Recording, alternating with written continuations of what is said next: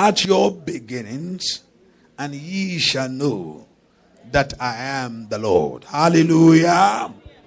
That when all these things happen to you, that not man, but God Himself, that you shall know that I am the Lord. God wants us to declare, God wants to declare Himself to us. He wants us to know that He is in charge of our life, that He's the one that can do this. Bible says, No man receive anything except being given from above himself.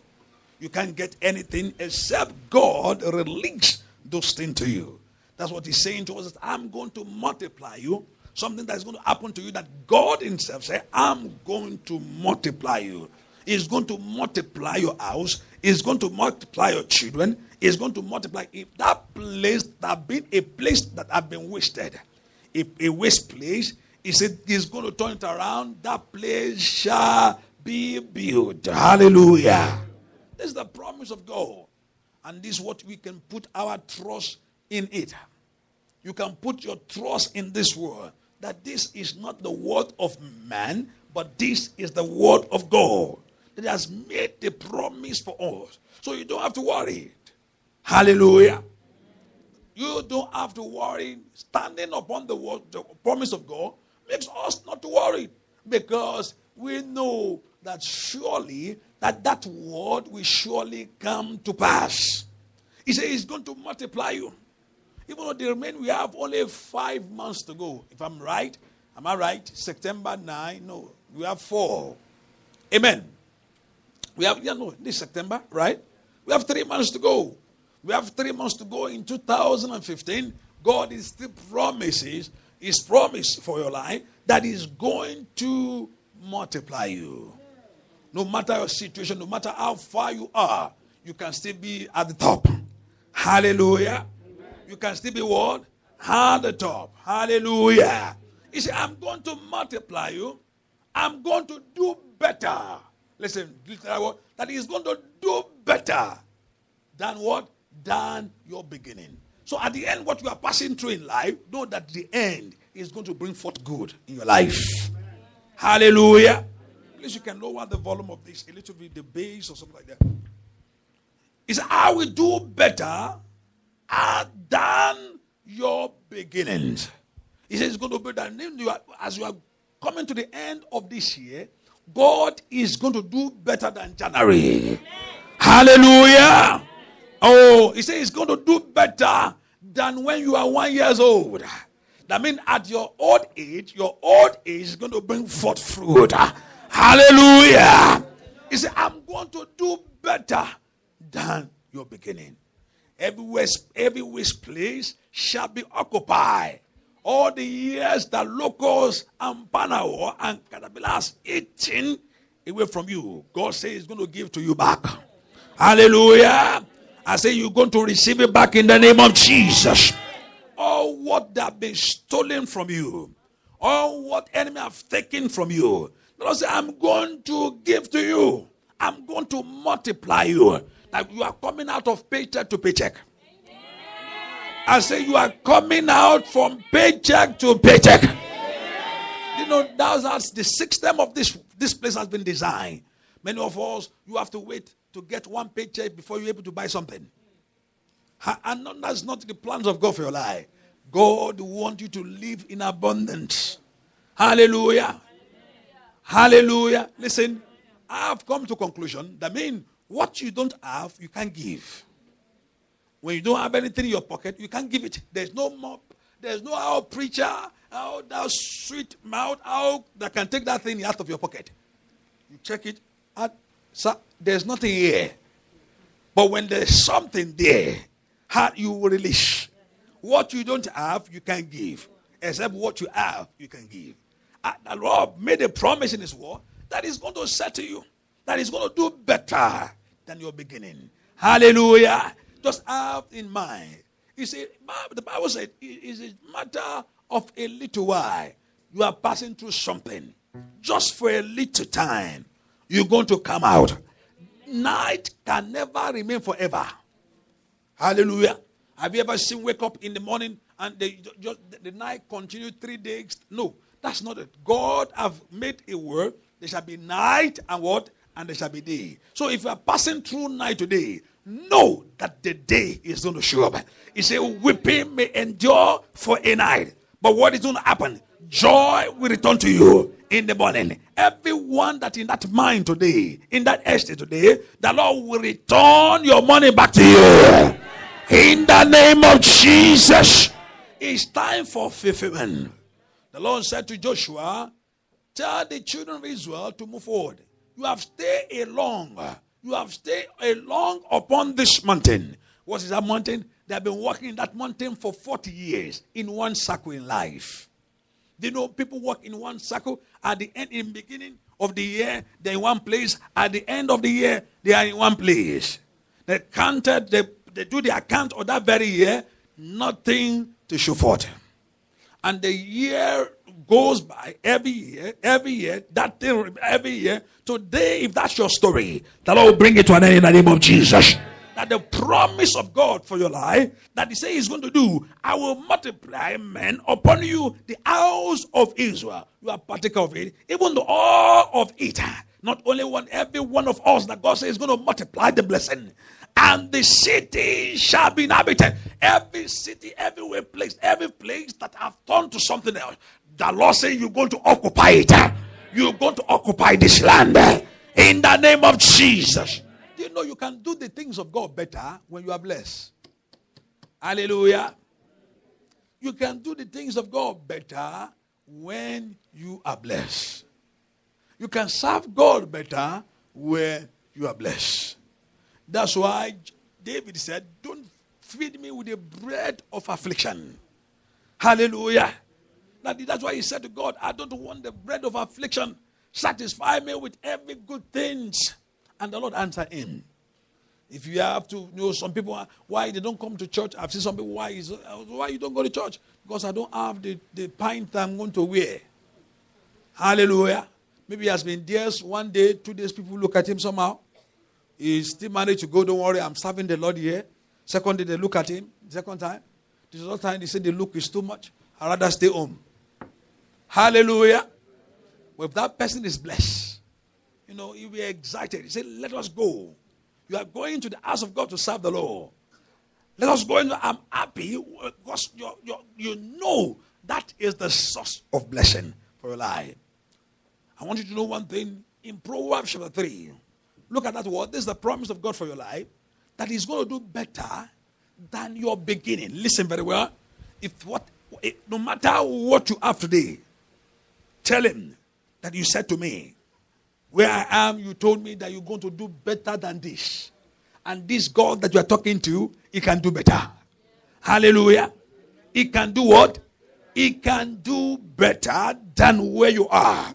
That's why we need to put our trust in him. Open your Bible to Proverbs chapter 3. Proverbs chapter 3. He said we should put our trust in the Lord. That we should put our hope in the Lord. Listen, you can bank on on the word of God. If I say something to you, sometimes you probably check it, but God Almighty cannot lie to you. Proverbs 3, verse 5, it says, Trust in the Lord. Hallelujah. What that word say? Trust in the Lord with all the heart. Listen very, let's just put that there. Trust in the Lord with all the heart. I mean, he's telling you that what he has said in that Ezekiel, that, that, that is going to do something great in your life. Say, trust in him. That trust in me. That's what I'm going to do for you. Say, trust in the Lord. Many of us, what our issue is to not, we don't really trust him. Hallelujah. We don't really trust God because of what we see, of what that is around us. Sometimes when we see what is around us, what we see, we are afraid sometimes. Even the people around you advise you, you better take off of your life so good. Don't end up in this. Don't end up. And fear get hold of us. Hallelujah. Fear get hold of us. And that's the plan of Satan. I've come to conclusion. I've seen that Satan used fear to capture life. Satan, what is going to happen to a man in life is Satan what to do. If Satan want to attack somebody, is to f- put fear in someone. And if anyone want to attack you, it's fear. If anyone want to do something bad to you, if enemy is doing something to you today because it's afraid. Hallelujah. Oh, if if I have enemy today, if I have somebody that is uh, you know, doing something bad to you, that person is afraid of you. That's the reason. Fear. Fear is the main thing. Go and look into the scripture. I've realized fear. Fear is the strategies of Satan to attack. It's a way to attack. Pharaoh afraid of the children of Israel that they're going to multiply and they're going to be great. Joseph, brother, his brethren, afraid the fear of his glory, of his future. Not because of anything. They are, it's just fear. Satan used fear. That's why God said you should use what? Faith. Hallelujah. Satan used fear. That's why when God wants to talk to anyone today, one thing that will say to you, fear not. Hallelujah. If God wants to talk to anyone to you, any prophecy, anything that God sent to you, if God says something to you, if anyone come to you, if I call you and say, "Oh, God, the Lord says something to you," God will not leave you into that place of fear. Never. If it's not of God. If I say something is going to happen, something going to happen, something going to happen, and fear get hold of you right away, it's not of God. You can see something, somebody can say something to you that, oh, I can see something coming. And maybe it's a little bit bad, but God also will make a way out. Don't worry, if you can do this, you can do this, you can do this. That's a way out. God will not give you a word without a word of a courage. Hallelujah. God will give you boldness in His word. God will not leave you in fear. Ah, they say this is going to happen to me. They say this is coming. What can I do? No, that's not of God. Any prophecy has to give it can give warning. The prophecy can give warning. Also, it can give a, also it will give courage. Hallelujah. Also, the prophets also will bring boldness and also will bring a way out. Hallelujah. So he said, trust in the Lord. What is telling us in that Ezekiel that that I'm going to do this for you. I'm going to multiply you. I'm going to do better than your beginning. Hallelujah. Many of us look at you five years ago, look where you are, and look where you are today. Look where you are before, and look at your life. Even though you are still believing God for greater things, you are still trusting God for mighty things in your life, but you are not where you are yesterday. You are in another place today. Hallelujah. And you know that God has brought you from that place, He's taking you somewhere. Only thing that you have to do, not to question him, is to put your hope in him and put your trust in him. I don't know what God is doing now about my life. He's doing something about your life. You probably don't understand it, but he's working it out. Only thing you just have to do is stay with him, believe in him that the one that I've made a promise, he cannot lie to me. He said, I have sworn by my holiness to David that I will not lie to him. God, I have sworn by his holiness to David, his servant, that his children shall be upon the throne forever. He said, I cannot lie. Even if his children sin, hallelujah, even though if sin took over of their life, that he's going to do something great. And, not, and God made a promise. If you feel when you look at the when you look at the the life of Solomon, God said, I'm not going to do this. I will not take the kingdom away from him because of the promise that I've made for David. God is not a man to lie. He divided, only took Benjamin and also Judah in one place, the rest, 12 tribes. So we have two kingdoms. We have Israel and Judah. Hallelujah. And why God sustained Judah? Because of the promise that God has made unto David that he cannot lie him. You have a God that cannot lie. You have a God that has made a promise for you that is going to do better than your beginning. Only thing you just have to do is to stay along with Him, is to put your trust in Him, is to believe Him, is to love Him. Hallelujah. Hallelujah. Do you know God wants somebody to love Him? Do you know that God wants somebody to love Him? God also wants affliction, affection from us. Hallelujah. Yes, God is a loving God. Also, you want you to love Him back. If you think that God is God of love alone, you don't need your love, you are joking. that God is God is love. He don't need my love. God needs your love. As how great God is, how mighty He is, He still wants somebody to fellowship with. God is He can sustain, He can do without you.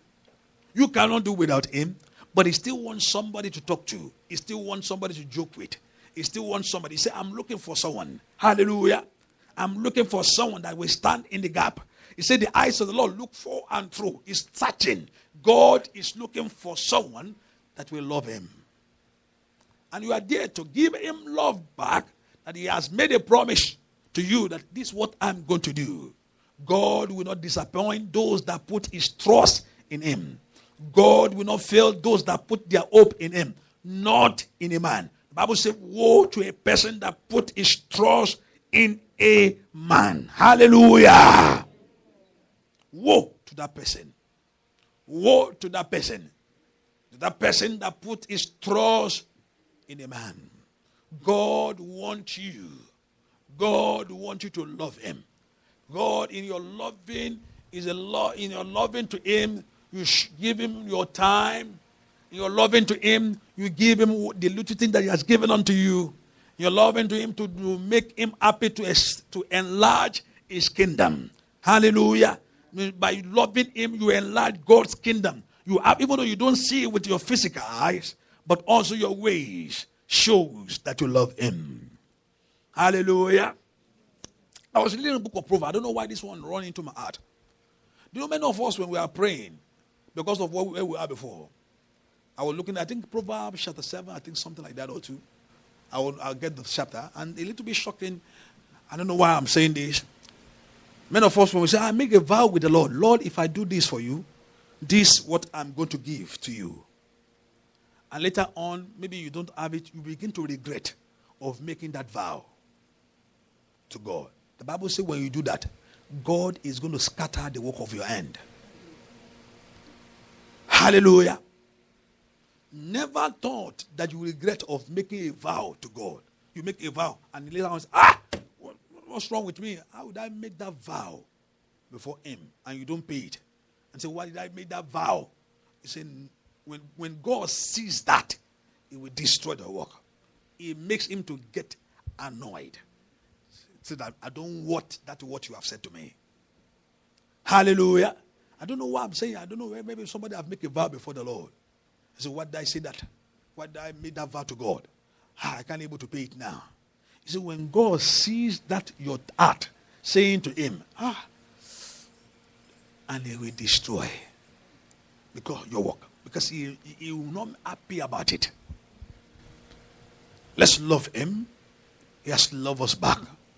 If God begin to deal with, deal with us according to measure of our sin, no one of us will stand here Let's appreciate God. God is a patient God. Oh, he's a patient God. Slow in anger. Hallelujah. Slow in anger. Loving us who we are. He loves us. He loves us we are. He cares for us. Put your trust in him. Lay not in your own understanding. The Bible says, in all your way, in all everything that you do in life, in all your way, acknowledge Him, and He will guide your path. You will never miss it. When God is in front of your life, when God is the one riding your car, many of us get out of that seat today. Get out of that driver's seat. You don't know where you are going. Hallelujah. That's why we have been there for so long. I don't know the address. I don't know. Because we don't let the one that knows all things to be at the steering wheel to guide you to the right place in life. Hallelujah. No true master can drive a car. You can only have one driver. Except maybe a learner. One have one, one have one. Hallelujah. Hallelujah. Let God begin to drive the car of your life. I assure you, He has made a promise that He's going to do better than your beginning. Do you know 2016 is going to be great? Oh, do you know that 2016 is going to be great? 2017 is going to be wonderful. 18 is going to be glorious. Hallelujah. Because he says he's going to do better than 2015. So I put my trust in him. Let us rise upon our feet. Lift your voice and begin to worship him because he's faithful. He that made a promise, he cannot lie. He said, I've swear to David, I cannot lie to him. Only thing you have to do is to love him and give all our heart to him. Lift your voice and appreciate him. He's a faithful God. A righteous God, only one. Oh, thank you, Lord Jesus. A miracle worker. Let us appreciate him. In Jesus' name, we pray. When you look at Psalm 100, it shows clearly Psalm 100 revealed to our. See, when I look at it, if you don't know how to come into presence of God, go and study that chapter very well, Psalm 100, and study it very well. If you want to get miracle, it shows us what God wants from you when you are coming. Go and study it very well. Go and look at it. It's not just it's just a small chapter, but powerful. A small chapter, very powerful. Psalm 100 is a short chapter, but very powerful. He revealed to us how to get to, into the presence of Him. That we just, come, many of us, even if you have, if you will begin to pray now, and let's just begin to thank God for one hour. Let's just begin to thank God. And if we only thank God today, many of us are going to leave this place. What kind of prayer is that? Nonsense. You just thank it. Even the man don't know how to pray, you only thank, thank, thank. You Just say, thank the Lord, thank the Lord, thank the Lord. I, the man should have said, fire! I want all my enemies on the floor. Destroy them, kill them.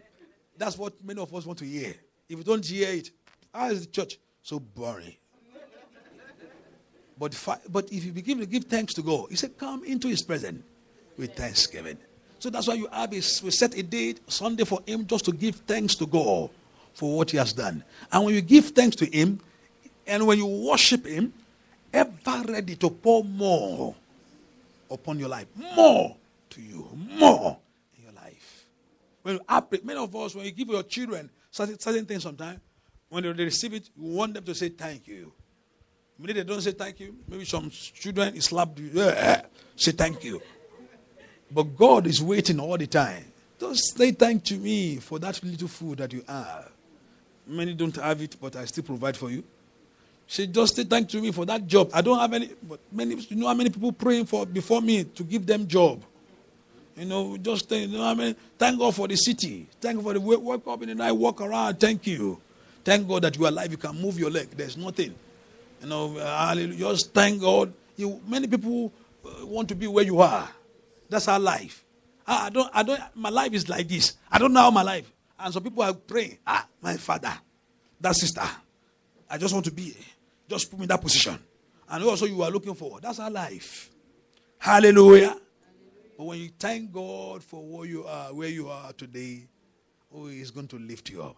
Say, Father, I thank you for everything. I thank for the blessing that is coming. Thank Him for the everything, and thank for the blessing that is coming. Thank God for everything. Thank for the blessing that is coming. In the name of Jesus. Thank for the blessing that is coming. Oh, worship Him for the blessing that is coming. Exhort Him for the blessing that is coming. Oh, Father, we thank you. In Jesus' name, we pray. Say, Lord, I pray.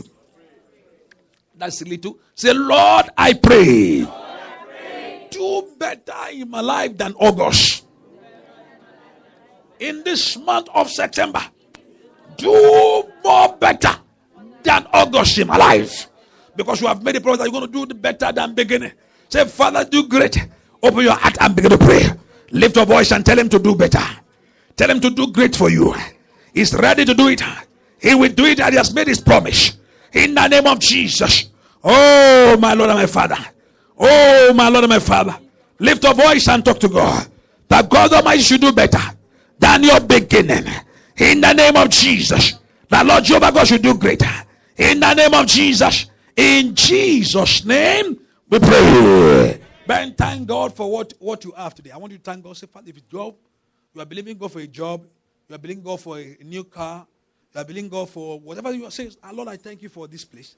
But Lord, you told me you can do better than this for me. It costs God nothing to pour the blessing upon your life. God don't use gold. God don't spend money. God don't eat food. Hallelujah. You don't eat anything. He don't live in a house and he has all those things in his care.